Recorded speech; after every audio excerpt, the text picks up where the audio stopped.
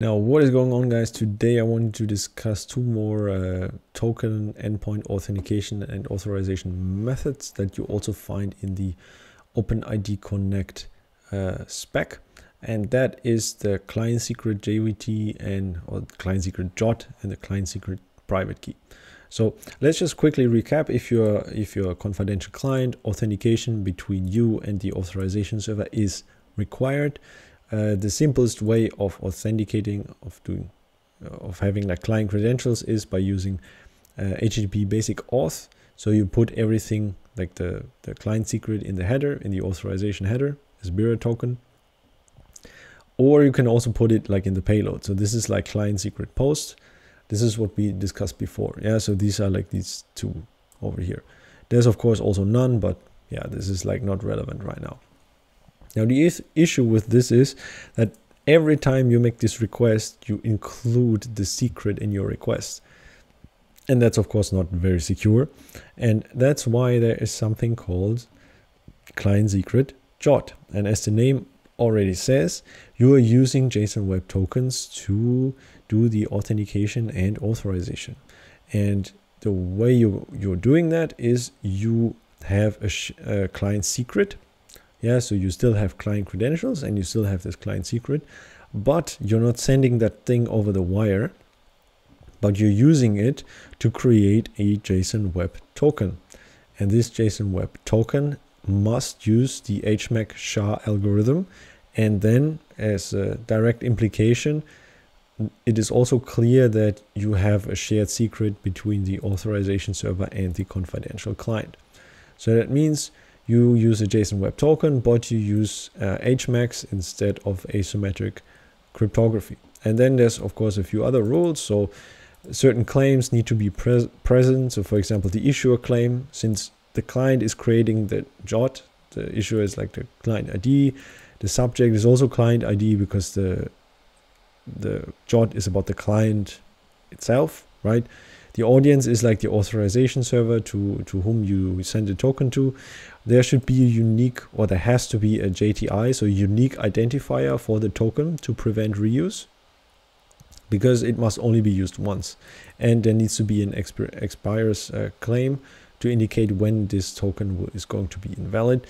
Uh, yeah, and then you take this thing, you post it to the token endpoint, and that is like how you do authentication and authorization. And you take this token here and you put it as client assertion. And client assertion type is then like this URI here. It's like jot. And one more thing, like just for the sake of simplicity, I didn't encode or I didn't form encode the parameters here. So normally this call is like, or like the payload is like form encoded, but then it's just extremely hard to read. That's why I didn't do that in this diagram. But normally it looks you have a lot more percent signs in there. Let's just put it like this. Yeah.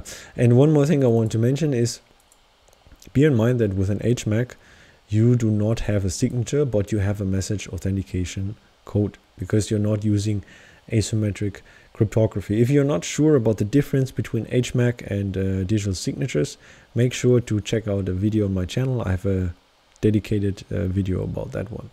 So you have this client secret uh, JOT, which means, okay, you have to use HMAC SHA algorithm, which means you must have a shared secret. And then going even further in terms of uh, security, there's also private key JOT. So this one must use asymmetric uh, cryptography with JSON Web Signature tokens token. The rules are still the same, so you need to have uh, like the same claims are still required. Uh, the difference is now, of course, you now have a digital signature and you can use a strong uh, cryptographic uh, algorithm like ES256, which is based on elliptic curve uh, cryptography. And yeah, the rules here are the same. The difference now is that you don't have like a shared secret, but what you have is you have a key pair and you as a client, as a confidential client, you have the private key and the public key and you share the public key with the authorization server you sign the token with your private key and then the authorization server verifies the signature with the public key.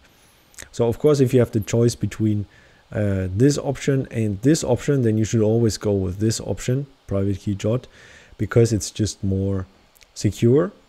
And yeah, I think we already talked about the the other parameters, right? So it's basically here it's basically in that order it's improving in terms of uh, security. Yeah so none has least security.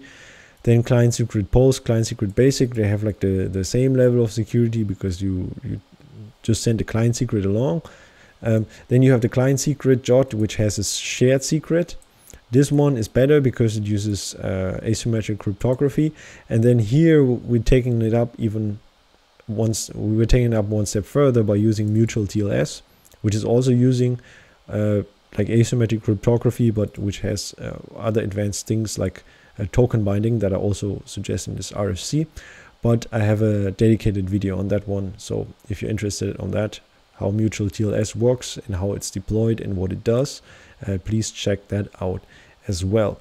Cool. So thank you so much for watching. Leave a like and subscribe to the channel and I'll see you in the next one. Bye bye.